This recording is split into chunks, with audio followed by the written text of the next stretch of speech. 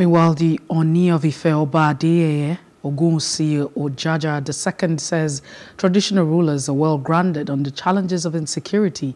Hence, President Bola Ahmed Tinubu should employ their services to tackle it.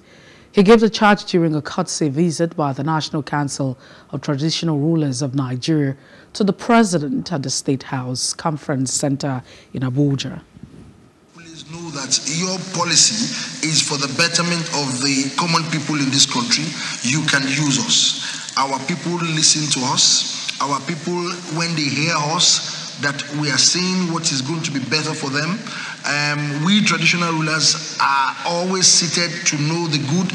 We are seated in our different kingdoms to know the bad. We are seated in our kingdoms to know the ugly. We will work with you. We are here today to pledge that this country that you so work hard for, for you to actually attain the height of this country as the president of this country, as the father of all, everything you want us to do. Be rest assured, please do not underestimate what we traditional rulers can do. We can complement your government, we can complement the betterment of this country, we can actually complement and make the work a lot easier for you. Count on us. We are very committed. We are very united.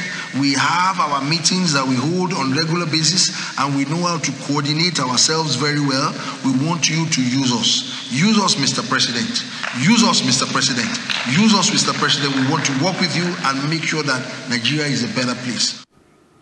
Earlier, the Sultan of Sokoto, Alhaji Saad Abubakar III, said the visit is a normal tradition by the rulers whenever there's a change in leadership in the country.